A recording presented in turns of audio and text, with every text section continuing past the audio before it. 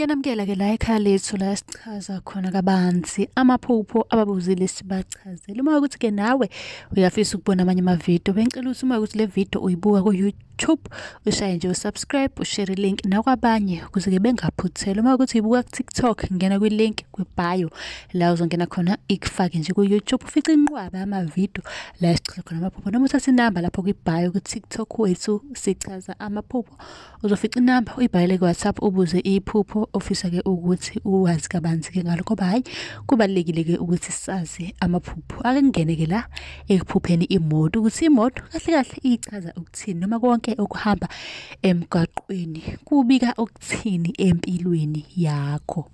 Khona buzile ukuthi ngabe kusho ukuthini ukuphupha ushayela imoto. Ukuphupha-ke ushayela imoto kusho ukuthi-ke uyakwazi ukuzilawula empilweni yakho. Ngizokuchazela-ke wonke amaphupho ahlangana nezimoto noma ngithi ahlangene nezimoto ukuze uzoqonda ukuthi asho ukuthini. Iphupho lokushayela imoto entsha. Empilweni yokuqaphela-ke uma sithenga imoto esikufunayo ukwazi-ke ukuyishayela. Siyakwazi-ke konke lokho sonke lokho kodwa-ke emaphusheni anezincazelo ezihlukile. Kusho ukuthini-ke ukushayela-ke imoto entsha? Kusho ukuthi-ke uyazethemba futhi-ke uwena okulawulayo. Akekho omunye umuntu. Kusho ukuthi-ke noma ngabe yini oyenzayo uyazilawula wena awuphethwe yimuntu. Ngakho-ke ozama ukukwenza kwenze kakhulu yabo lokhu ozama ukwenza kumele nje ukwenze kakhulu ngoba hheyi impumelelo yakho ihleli khona lapho futhi uyakwazi-ke nokuyilawula okumnandi. Ukuphupha ukushayela imoto ungazi. Kuke kwenzeke yini kuwe ukuthi-ke uphuphe ushayele kodwa ungazi ukuthi wenzanjani? Nakuba-ke ungazi. Lokho-ke kusho ukuthi-ke ephusheni lokho awukazi-ke ukuzithola ukuleso simo. Manje akuyona-ke into enhle njengoba-ke usuke ucabanga. Lokhu-ke kusho ukuthi-ke kukhona ukuntula, ukulawula-ke futhi udinga-ke okukhunkula ukufuna udinga ukucindezela kakhulu empilweni yakho. Kanye-ke nemicabango yakho nayo izothi nje ukwehla ngoba khona umuntu ozama ukukucindezela empilweni yakho avimbe nje zonke izinhlahla. Ukuphupha-ke ushayela imoto esheshayo.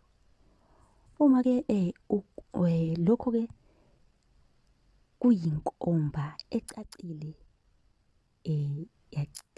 bayicacisa nje ukuthi-ke into ozama ukuyenza angeke iphunyuke. Kusho ukuthi-ke uma uphupha leli phupho into ozama ukuyenza ngeke iphunyuke, kumele nawe uyibambisise ngezandla zombili. Ukushayela-ke imoto enkulu.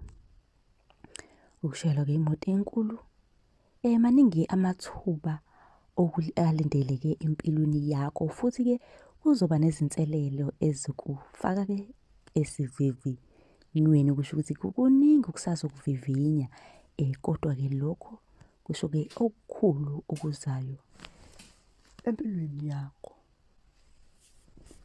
Kusho ukuthini-ke ukuphupha ushayela iloli?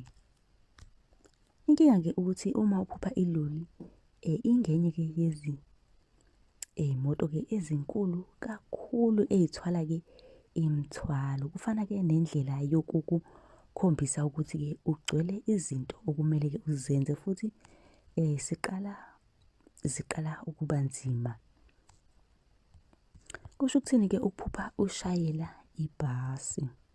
Njengoba nazi-ke ukuthi ibhasi liyindlela-ke yokuthutha umphakathi lapho abantu abaningi begibele khona futhi-ke endaweni-ke yangakini. Lokhu-ke kukhombisa-ke ukuthi uzama ukulawula izimpilo zabantu wena uqobo lwakho. Kungaba-ke umuntu oyedwa noma kwabaningi kodwa-ke kusobala ukuthi akukona-ke ukulawula empilweni yakho kodwa-ke ulawula eyabanye abantu. Kungenzeka ukuthi abantu bomndeni noma abantu osondelene nabo, abangani noma umuntu othandana naye. Iphupho lokushayela-ke isithuthuthu.